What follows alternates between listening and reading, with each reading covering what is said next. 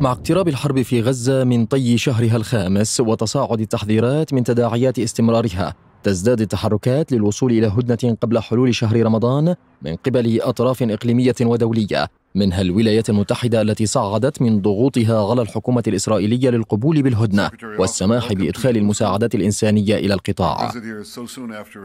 أحدث الرسائل الأمريكية الضاغطة على إسرائيل توجه بيني جاناتس وزير الحرب في الحكومة الإسرائيلية والخصم الرئيسي لرئيس الحكومة بنيامين نتنياهو إلى الولايات المتحدة وعقد سلسلة من اللقاءات مع عدد من كبار المسؤولين وهو ما أثار غضب نتنياهو الذي أمر سفارة بلاده في واشنطن بعدم تقديم أي خدمات لجانتس أو مرافقته في الزيارة.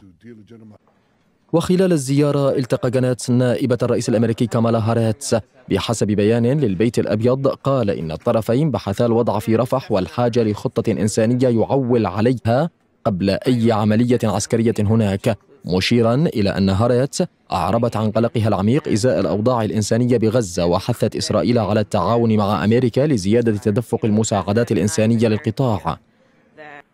وبحسب مكتب جانتس فإن الأخير من المقرر أن يلتقي بوزير الخارجية الأمريكي أنتوني بلينكن بعد لقائه نائبة الرئيس الأمريكي والتي وجهت انتقادات كبيرة لإسرائيل هي الأولى من نوعها منذ بدء الحرب ودعتها إلى وقف ما وصفتها بالكارثة في قطاع غزة واتخاذ خطوات لزيادة إدخال المساعدات إلى القطاع المحاصر في ظل تقارير أممية تتحدث عن خطر مجاعة وشيكة هناك.